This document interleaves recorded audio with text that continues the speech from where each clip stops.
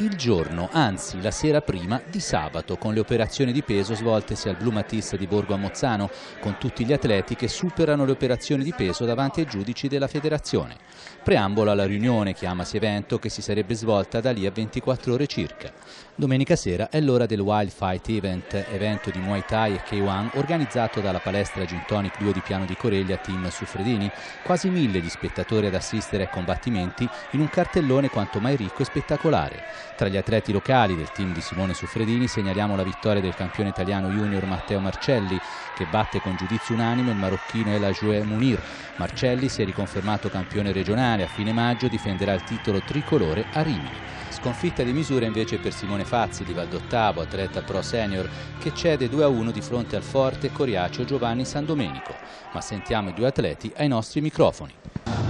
È stato bello, c'era tanto pubblico, all'inizio è stata molto dura, era molto teso, però ce l'abbiamo fatta, l'avversario era bravo, è stato un bel match, abbiamo lottato fino in fondo, però ho avuto la meglio. Sono contento, un saluto a tutti. Eh, tutti i ragazzi che conosco, tutti i ragazzi della zona, amici miei un po' da tutte le parti e niente, ho perso e è andato così. A me diciamo che al secondo round mi è un po' calato il fiato e da lì in poi ho un po' accusato su quello perché come te tecnica non mi sembrava per nulla inferiore a me. Da aggiungere il successo di Marcello Bernardini del Piaggione, vice campione regionale al quarto match in carriera che ha avuto la meglio su Lorenzo Mattani. Infine, tra i nomi dei vincitori degli altri match spicca anche quello di Michela Galli che si è imposta su Aisha Amarun per KO tecnico.